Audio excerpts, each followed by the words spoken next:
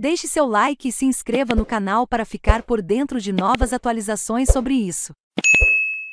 Meio-campista do Mercado da Boa, Andrena, Água Santa é alvo de times da Série A clube que lhe posse final texto relatando acontecimentos com base em fatos e dados observados ou apurados diretamente pelo jornalista ou obtidos por meio de acesso a fontes jornalísticas reconhecidas e confiáveis, o meio-campista do Água Santa, Luan Dias, será o principal alvo ao final da janela de transferências do Nacional após grande atuação no jogo de ida da final do Paulistão. Vários clubes da série A começaram a consultar o clube e staff do atleta para saber as condições, como Cruzeiro, Coritiba e Botafogo, o Goiás sinalizou interesse em todos esses clubes, além de um em futebol chinês, soube que o Água Santa quer vender o jogador para o Paulistal. Os valores giram em torno de 4,5 milhões de reais por 50% do jogador. O Água Santa foi fundado na base do clube e está perseguindo a ideia de manter o meio-campista aposta por entender que é um jogador com potencial de revenda. Sugestões ou conversas de qualquer tipo só serão discutidas após a participação do jogador no Campeonato Paulista.